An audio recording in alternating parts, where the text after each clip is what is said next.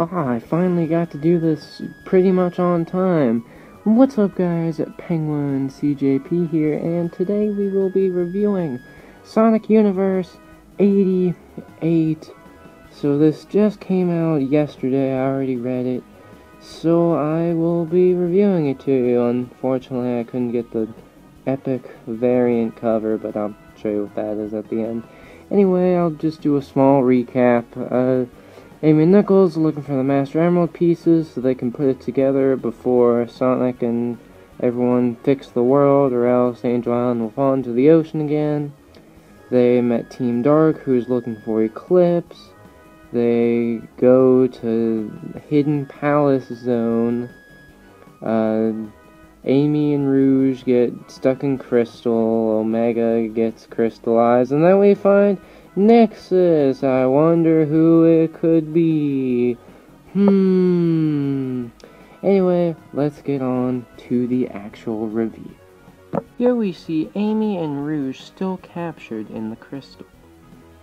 They try to break out and they hear something coming. I wonder what it could be. We cut back to Knuckles, Shadow, and Nexus, and Knuckles is questioning Nexus about why he wasn't on the island. He says that he's been looking for the island all this time. Knuckles asks Shadow if he thinks he's legit. Shadow is suspicious.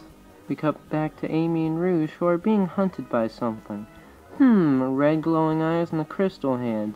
I wonder who it could be. Hmm. Nexus tells Knuckles that there's a special place where they can reconnect to the Master Emerald. He then tells Knuckles about the troll history and how it's very similar to the Echidna history. And Nexus find the room, and then it's revealed, gasp, he was Walter Naugus all this time! I wouldn't have guessed. It's also revealed that Amy and Rouge's attacker is Crystallized Omega, who looks pretty cool in my opinion. He looks like Omega mixed with Gemini Man. Walter is about to put the Master Emerald together, and he doesn't know how. Walter throws Knuckles out of the room and blocks the entrance. Knuckles goes to find Amy and Shadow so they can break the wall together.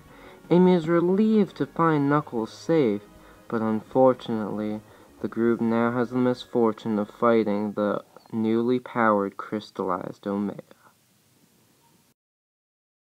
Well, I do think that this issue is better than the first part of this arc, it's still not perfect.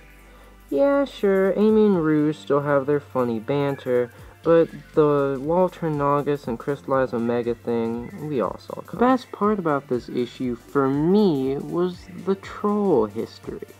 In the old continuity, one of the coolest parts was the history surrounding the different clans. So this was pretty nice to see in the new universe. Overall, this issue was better, but let's just hope that the last two parts of this arc make it at least a little better and less predictable. This was Penguin CJP signing out.